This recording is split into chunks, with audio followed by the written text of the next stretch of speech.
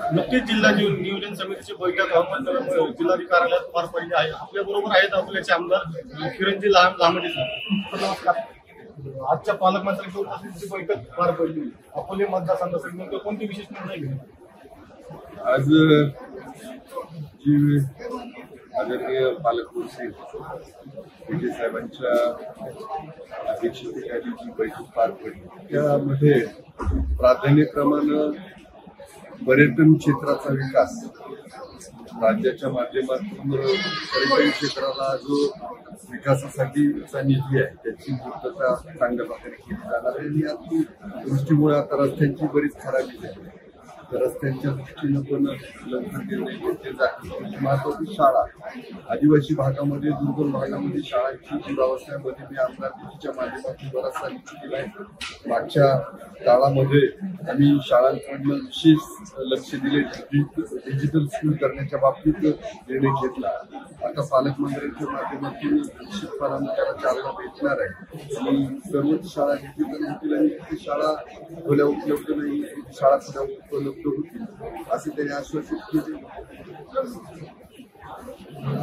आगस्तिक साखर कारखान्याचं आगस्तिक साखर कारखान्यामध्ये मधुकरराव प्रचंडांचा प्रभाव तुम्ही नेमकी कशी रणनीती आखली?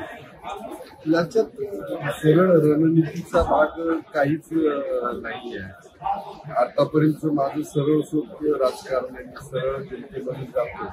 आणि जनतेला मी जे तुला आव्हान करतो ते अपील होतं. माझं वागणे ते अपील होतं.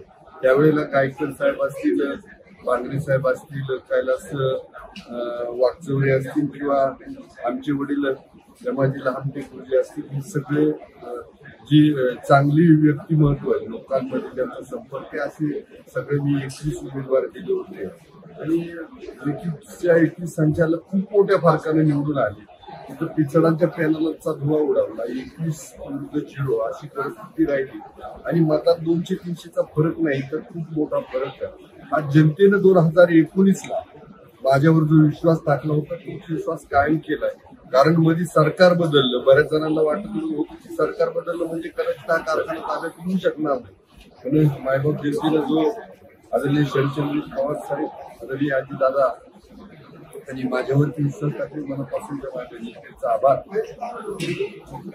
खूप खूप धन्यवाद सर. आपल्या होते अकोले मतदारसंघाचे किरणजी लांबटे कॅमेरामन किरण डोंगरे सर